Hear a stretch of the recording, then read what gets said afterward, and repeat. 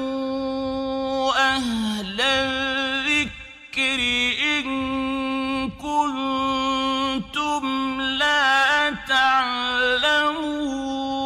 تعلمون ওয়ালাইকুম সালাম রহমতুল্লাহ বরকাত কোন প্রশ্ন করেছেন যে আহ, ভাত খাওয়ার সময় বা কোনো কিছু খাওয়ার সময় বাম হাতে গ্লাস ধরে ডান হাত লাগিয়ে খাওয়া যাবে কিনা না ডান হাতে যেটা একটু হাত সেটা খেতে হবে। দেখেন রসুল করিম সাল্লাহ সাল্লামের যেটা সুন্নতি তরিকা আয়সা রাজিল্লাহ তালানা বর্ণনা করেছেন ইহাব্বু তাই ফি তারা জুলিহি তানাউলিহি অলিহি ফি শাহানি কুল্লি।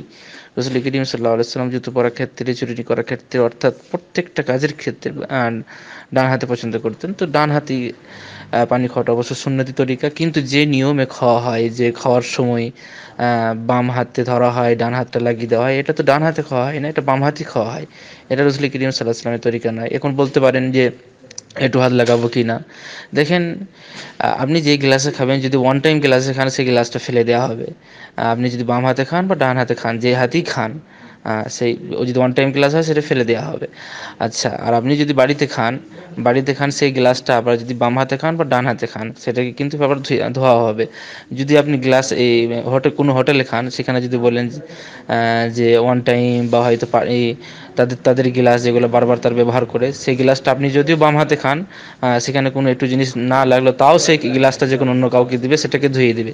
অতএব আপনি সব জায়গাতে, আপনি রসুল করিম সাল্লাহ সাল্লামের সন্ন্যতকে ফলো করবেন, আপনি নিজের বাড়িতে থাকেন আর ঘরে থাকেন, আপনি ডান হাতকে ব্যবহার করবেন, ডান হাতকে ব্যবহার করবেন, এই বাম হাত ধরে ডান হাতে লাগানো লাগানো এটা তরিকা নয়, এটা রসুল করিম সাল্লাহ সাল্লামের সুন্নত নয়। এই ধরনের কাজ দেখে ব্রাহ্মণরা যখন তারা হিন্দুদের যারা ব্রাহ্মণ, তারা যখন দলিত সমাজকে, আরও কোনো সমাজকে যখন ভিক্ষা দেয় তখন ঠিক যেভাবে এই এরকম গ্লাস ধরে পানি পান করা হয়, সেভাবেই তারা কি বলে ভিক্ষা দেয়।